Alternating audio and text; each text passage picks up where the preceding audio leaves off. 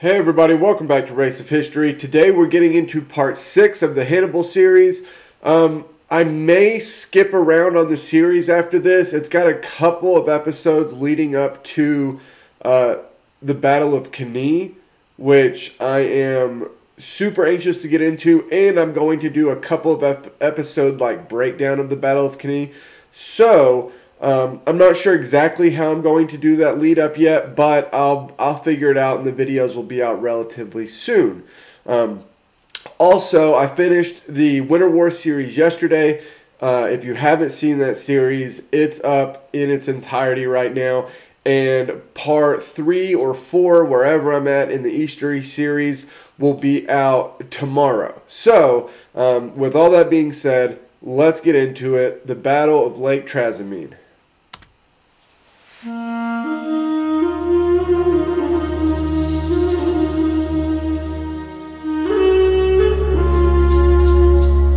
The defeat at Trebia struck fear into the Roman leadership. The Republic lost all control over Cisalpine Gaul. Hannibal succeeded in bringing Gauls to his side. Okay, so this is a a precarious situation. This this Gallic situation. It's precarious for both Rome and Hannibal, right? Because Hannibal gets them on his side because they hate Rome, right?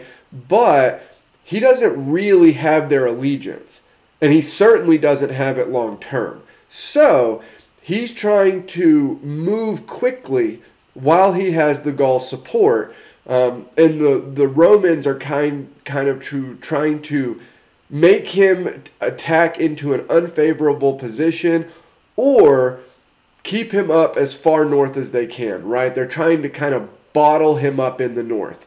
He has a way to get around it, but it's what the Romans are trying to do. nearly doubling his army. 40,000 infantry and 10,000 cavalry are now under his command. But before Hannibal resumes his attack on Rome, faced with the Gallic uprising in Cisalpine Gaul and still shocked by the loss of tens of thousands of troops at Trebia, the Roman Senate is determined to turn things around in 217 BC. Amidst the political turmoil, two new consuls are elected and sent north against Hannibal with newly raised armies. Other theatres of war are not ignored, evident by the victory against the Carthaginians at the Ebro and the planned reinforcements set for Iberia later in the year. But the main focus of the Roman war effort is on home soil. The plan is to use the geography of the Italian peninsula to their advantage. With the vast marshlands of the Arno River in the west thought to be impassable during winter and spring, and the rugged Apennine mountain range cutting across the peninsula, the Romans know that there are only two routes into central Italy that Hannibal can take, and they move to block both. Consul Gaius Flaminius positions his army at Arretium, including the 10,000 legionaries that survived the Battle of Trebia. His co-consul, Gnaeus Servilius Geminus, is stationed at Ariminum. Both armies are bolstered with a higher number of horsemen than usual, perhaps to offset their numerical inferiority in cavalry. Yeah, so again, they both go to positions that they they think Hannibal is going to have to go through to get to southern Italy. So they're in strategically good defensive positions. They're again, they're trying to bottle him up in the north, right? If he comes south, he's going to have to attack a solid defensive position that the Romans are in. We're about to see how he's going to find a way around it. Hannibal, meanwhile, has problems of his own. While he did establish a base of operations in the Po Valley, Gallic support will weaken over time as his army continues to consume their resources. At the same time, the Romans decided not to pursue further battles in the north, so staying there makes little sense for Hannibal. He needs to put pressure on the Romans before his Gallic allies lose interest in the war. Just like the Senate, Hannibal knows that he can either go down the Adriatic coast and fight Servilius in the rugged terrain of Picenum, or he can fight Flaminius in the difficult Apennine mountain passes. neither route is good. Whichever he chose, not only would the Romans be alerted about his movement ahead of time, but he would be forced into a prolonged and uncertain battle against the well defended Roman positions, which would allow time for the two consular armies to link up, something that Hannibal can ill afford. But with the arrival of warm spring weather, the Carthaginian general does the unexpected. He decides to force march his army across the Apennine Mountains and through the dangerous marshlands of the Arno River, aiming Yeah, so this is going to completely surprise the Romans. He's actually going to get down there and across it before they realize that he's down there, right? Now, he's going to lose an eye over it, but it's it works perfectly for surprising the Romans who think he has to take one of the two options that they have both blocked off. to surprise the two consuls and get into a good position to threaten Rome itself. The plan is arguably just as audacious as was the crossing of the Alps. The march is extremely difficult. Hannibal places his most disciplined infantry, the hard marching Libyans and Iberians, at the head of the column. They set a fast pace, which the Gauls find difficult to maintain, as they are not used to forced marches. And by being at the back of the column, they face the added difficulty of having to march through the sticky quagmire that has been churned up by the troops in front of them. The cavalry is in the rear of the column, ushering the Gauls forward and keeping an eye on any who might decide to turn back. Okay, I cannot explain how awful this marsh crossing is. It is brutal. There's it takes multiple days. There's nowhere to sleep except there's reports of them sleeping on dead animals when when an animal dies. Um, but then that's just one person. Like it's this whole crossing is so so brutal. Um, Hannibal's on an elephant, and he even gets an eye infection and and loses an eye. You know, so or loses sight in an eye. So um, the reports are kind of conflicting on whether he actually gouged out the infected eye or not. But can you imagine going through something like this? You have multiple days. I think of like uh, I've watched the the Navy SEAL BUD/S videos, right, where they have to stay up. Um, they get very little sleep over Hell Week, and that's what this is. But in just a regular forced forced march to get ready for a battle or to get in position for a battle, it's just it's so brutal. The terrain, however, is the army's biggest enemy. The Arno River flooded after winter rains, turning the river basin into heavily flooded, muddy wetlands. The endless, dense swampland offers almost no dry areas for resting. Hannibal's troops wade through deep pools of water for four days and three nights, with almost no sleep and no rest, whilst carrying their heavy equipment and supplies. Those fortunate enough to be mounted are able to sleep in their saddles, while a handful of those on foot manage to climb onto the bodies of dead horses and pack animals for a brief rest. Brutal. Many die due to infection, disease, exhaustion, and drowning. Hannibal himself catches an eye infection which cannot be treated because there is no time during the forced march, and he carries the infection for much of the journey, eventually losing sight in one eye. He emerges from the swamp on the back. Yeah, so they said losing sight in one eye. It's there's like I said, there's conflicting stories on on whether he actually gouged out that infected eye or not. of his sole surviving elephant, probably the brave Syrian. All the while, the Romans assumed that Hannibal is contained in the north.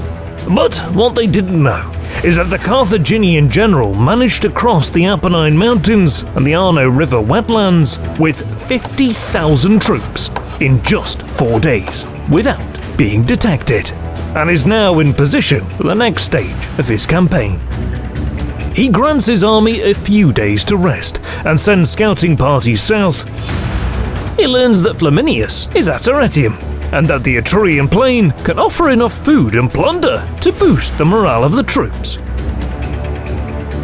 Having learned that Flaminius is an arrogant and rash commander, he plans to provoke him into giving battle by pillaging and burning the rich Etrurian countryside.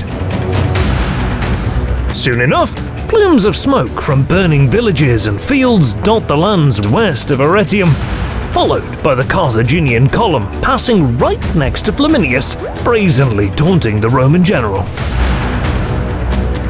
Watching from Arretium, Flaminius is fuming, knowing that it is he who is supposed to protect these lands, and yet one of the richest areas in Italy is burning on his watch. But he somehow resists challenging the Carthaginian general, persuaded by his advisors to stay put and wait until Servilius joins him. Unable to force an open battle, for Hannibal, an assault on Arretium is out of the question, he cannot risk losing too many of his experienced soldiers that he cannot replace. His army also has limited supplies and has to keep moving. Yes, so that is entirely correct. Uh, an open attack on on uh, the consul here is totally out of the question. They don't have the resources for it, right? But look at the map right now. Hannibal is between the consuls and Rome, which is not what the consuls want, right? So, just being in this position, he has a major, major threat kind of to hold over their heads. So, continuing to go south is is dangerous. If the consuls let him leave, for all they know, he could go march right on Rome. Furthermore, Hannibal has no way of knowing how far the other Roman army is, and as far as he knows, Servilius could be arriving any day now. So, the Carthaginian general decides to press on. Leaving not one, but two armies in his rear must have seemed mad. But actually, by bypassing Arretium, Hannibal maintains the initiative and keeps the Romans guessing he wants to be the one who dictates the course of the campaign. Scouts soon bring good news. Flaminius decided not to wait for Servilius after all. Knowing that the battle is soon coming, Hannibal makes sure to let his Gallic troops know that they will be fighting against Flaminius, the man who caused them much misery in years past. Yeah, but think about this from from Flaminius's perspective. Like like I said, he just let Hannibal cross with a ton of troops head further south. For all he knows, they're going to Rome. So, what is he supposed to do? Is he supposed to just send a messenger to Rome and say, hey, Hannibal's on the way while the two consular armies are out in the field? Or is he supposed to go, like, try to track down Hannibal? You can see how he's kind of up between a rock and a hard place here. Flaminius is renowned for his victories against Gallic tribes. He is responsible for introducing a law that allowed Romans to settle near and on Gallic lands. This created conflict, which Flaminius resolved by invading and occupying more Gallic lands, and then proceeded to settle more Romans on the lands he conquered. Yeah, the Gauls are going to get their revenge for that. Needless to say, he is hated by the Gauls, and the 17,000 of them in Hannibal's army can't wait to get their hands on him. Meanwhile, for the Roman army that prides itself on its military prowess, it must be humiliating to pass through villages and countryside laid waste by the enemy. But Flaminius can still redeem himself, and he is only one day's march away.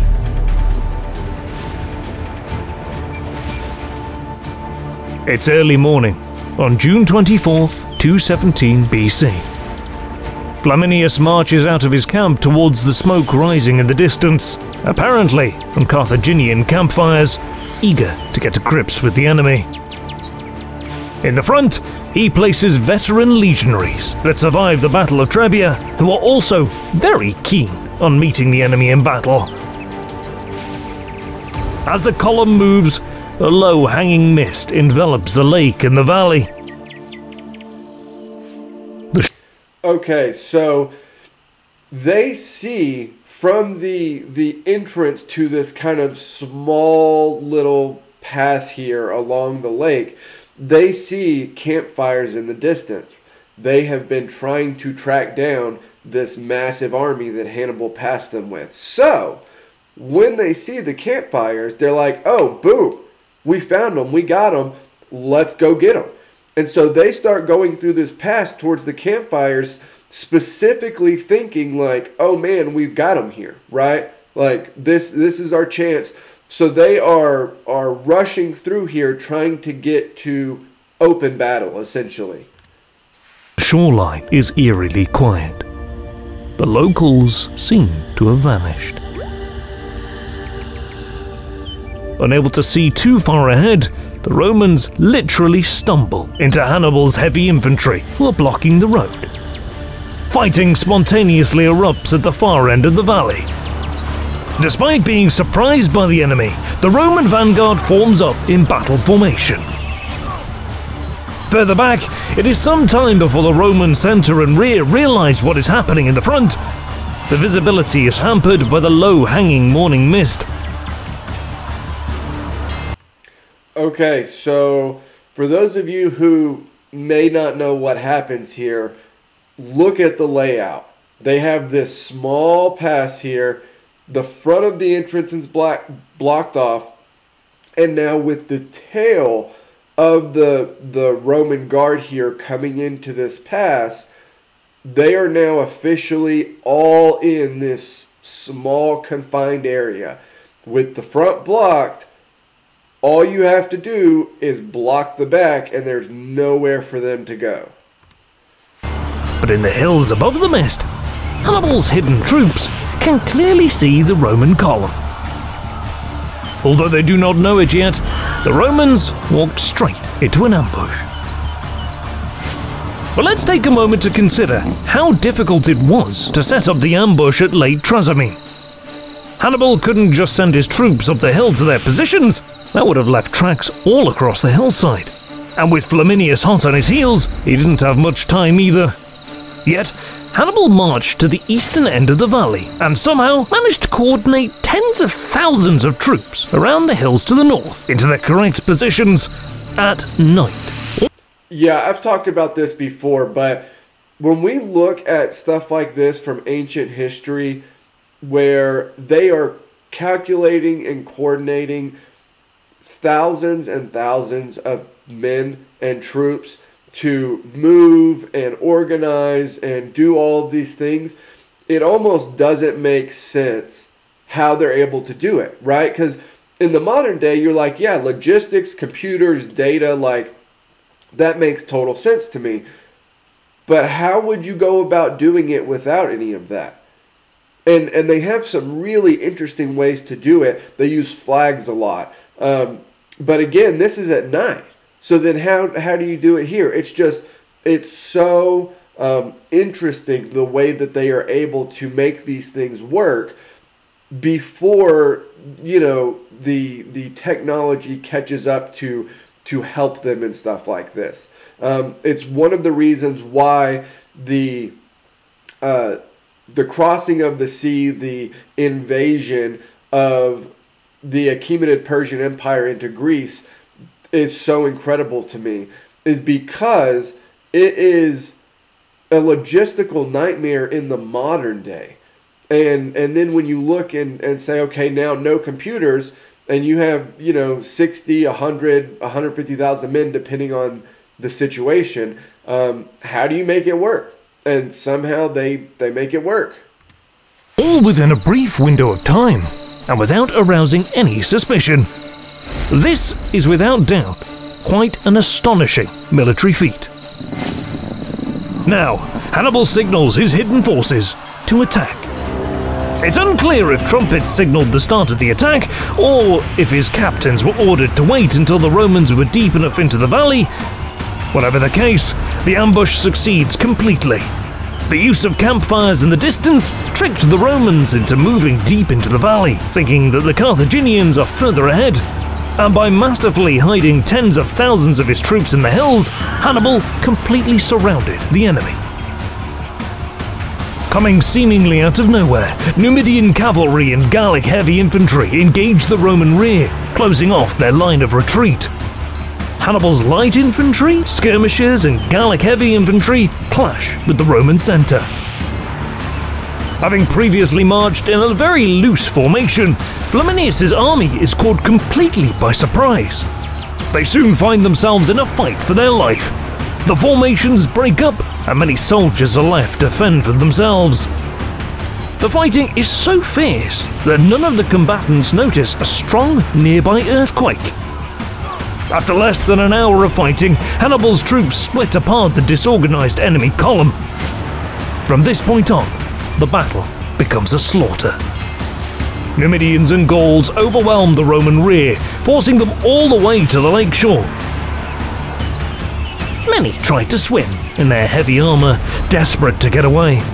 According to Polybius, many Romans drown in the lake, while others who manage to stay afloat beg for mercy, but are killed there and then.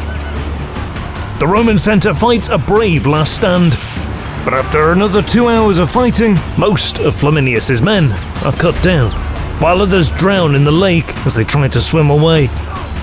According to legend, the Roman consul is recognized amidst the fighting, and the enraged Gauls fight to get to him. The consul's best troops rally to protect him. But one of the Gallic warriors fights his way through and thrusts his spear into the consul, killing him.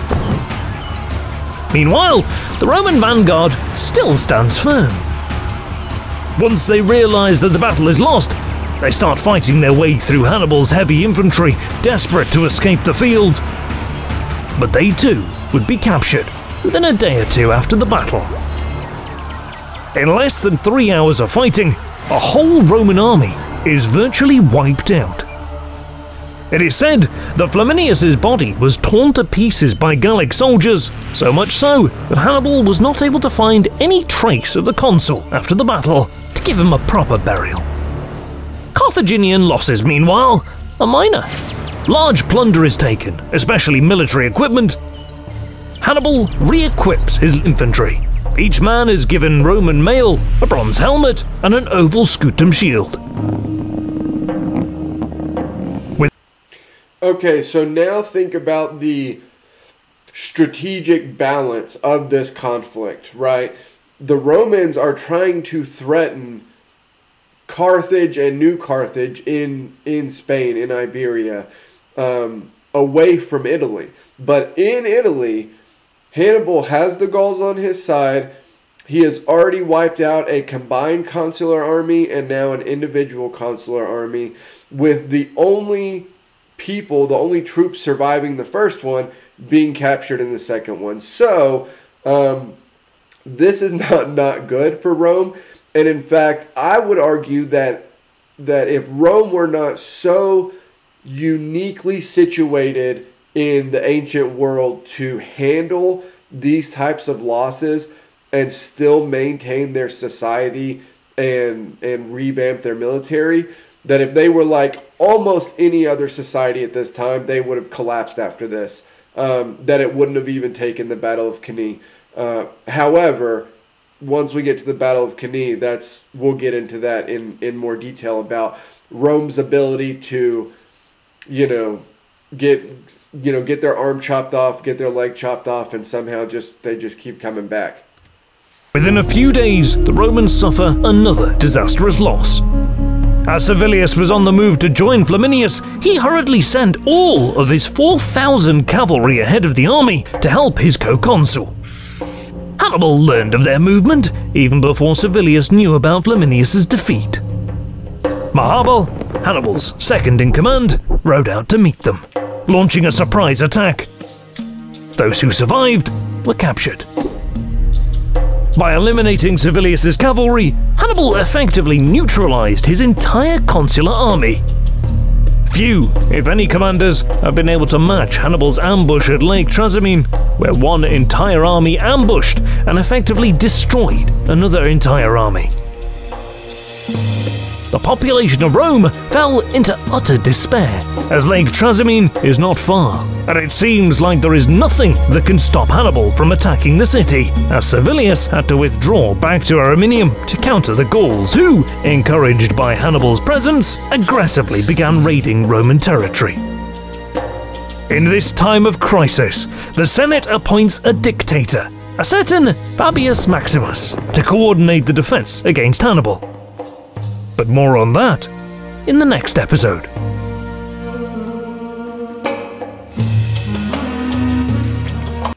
Okay, so yeah, we'll get into the Fab- Fabian tactics in the next episode. That was the Battle of Lake Trasimene, uh, part six of the Hannibal series. Like, comment, subscribe. Keep helping me build the channel over here, and I will see you guys next time.